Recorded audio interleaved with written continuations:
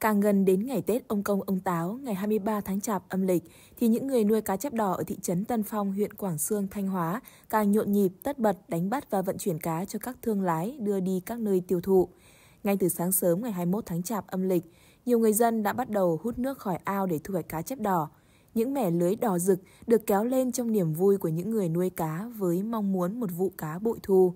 Tức là ao thì à, nuôi à, hai xào khoảng hai tạ thôi. Ở 20 21 là bắt đầu là thu hoạch lên tráng rồi xuất lại cho đồng bào. Với lại à, róng cho khỏe rồi để đến 23 mà đi. Một cân thì khoảng cái tầm như cái loại này là khoảng à, trên dưới 50 con này. Còn một cân cái loại to hơn thì 40 con mà nhỏ hơn thì khoảng 60 con. Dao động từ 8 90 nghìn đến trăm một cân.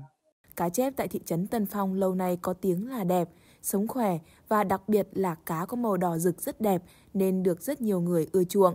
Để có một vụ cá bội thu, các hội nuôi cá phải chú ý lựa chọn giống cá khỏe và chăm sóc cá chép rất tỉ mỉ. Nguồn nước thì phải ờ, đảm bảo là phải luôn luôn là sạch. Và thứ hai là ờ, thức ăn thì độ đạm trên 40% của công ty thức ăn chăn nuôi. Và kết hợp thêm ờ, những cái ngày cuối cùng của năm này thu hoạch thì mình sẽ cho ăn cơm Người dân ở đây cho biết cá chép đỏ được người dân mua để cúng ông công, ông táo, nên việc chăm sóc loại cá này cũng được người nuôi chăm rất cẩn thận. Đến kỳ thu hoạch, trước khi đánh bắt từ ao lên, chỉ cần cho cá ăn vừa đủ, quay trong ô lưới có diện tích nhỏ để giúp cá quen với môi trường chật trội, oxy thấp khi vận chuyển. Là nghệ nuôi cá ông công này đã được từ xa xưa, nên đến bây giờ thì là nghề phát triển lên khoảng 400 hộ với diện tích khoảng 4 đến 50 hecta. Thì ờ, với cái lượng cá mà phục vụ ngày Tết thì uh, mỗi hộ dân ước tính là khoảng uh, trên 100 kg cá hồng công.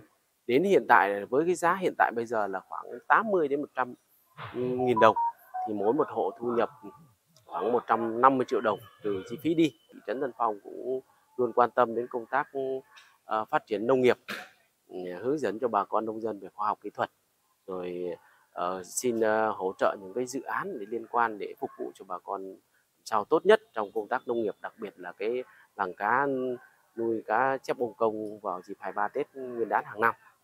Nhu cầu mua cá chép của người dân vào dịp này thường tăng cao, bởi lẽ vào ngày 23 tháng Chạp hàng năm, người dân thường cúng tiễn ông công ông táo bằng cá chép đỏ để ông công ông táo có thể về trời báo cáo những công việc năm qua ở hạ giới.